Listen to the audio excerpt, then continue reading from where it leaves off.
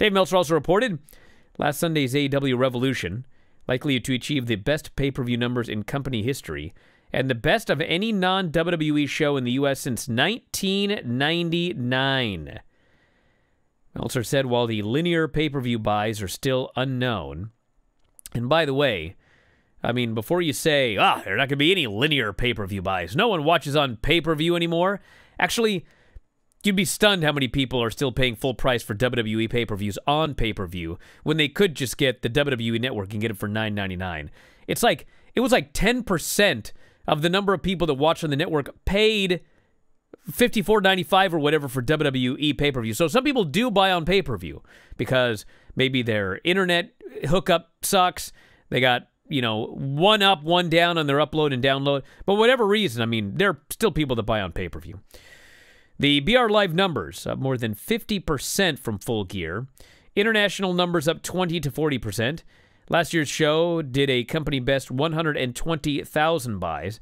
Gross for this pay per view will be in excess of 6 million, likely closer to $7 million. AEW takes home roughly 50% with their distribution partners. This, of course, is show headlined by the exploding barbed wire death match. Final news note today it is the ratings for AEW and NXT, which are interesting because these ratings are, for both shows, both bad and also good. I'm going to tell you why. The bad news first. AEW Dynamite coming off the Revolution pay per view, 743,000 viewers. Coming off the pay per view, down 20.5% from last week. Not good. NXT.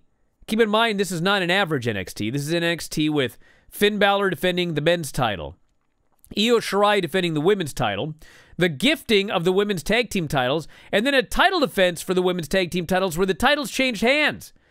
691,000 viewers, down a 1,000 viewers from the show last week, and two game changing announcements.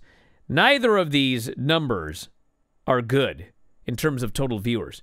Now, what is good, interestingly enough, is the demos for both shows. Dynamite in 18 to 34 or 18 to 49 did a 0.32, which is only down 3% from last week, which still it shouldn't be down, but number 4 on cable for AEW Dynamite. NXT did a 0.18, also down 10% from last week, but also number 25 on cable. So, in terms of the demos, which is the most important, top 5 for AEW, top 25 for NXT, those are both good. In terms of total viewers, not good. So you can get mad about whatever you want or get happy about whatever you want. You got arguments both ways if you're one of those people that is passionate about these numbers right here. NXT regularly, and I, I feel I can fairly say regularly. I mean, for for many weeks there, I mean, they were regularly not even getting into the top 50. Now, they've been the top 25 the last couple of weeks, I believe. And NXT has been in the top 10 uh, quite consistently. So, my guess, and I guess all anyone can figure, is that the South Park episode, uh, which was number one on cable, probably did siphon some viewers away from AEW and NXT. If you look at the quarter hour ratings, the quarter hour numbers, it was another one of those weeks where it did not go up and down all night, nor did it start really high and collapse. It did start higher for NXT because they always have a strong lead in and kind of fell. But I mean, for most of the night, I mean, AEW was just consistent all night, and NXT was largely consistent all night. So they had a group of viewers that tuned in and watched the whole show on both AEW and NXT. But whatever whatever excess viewers above that can take you to 800,000, 900,000. Uh, the Shaq match. And by the way, speaking of the Shaq match, interestingly enough, the opening match with Fenix and uh, it was Fenix and uh, um, Matt Jackson. Damn it.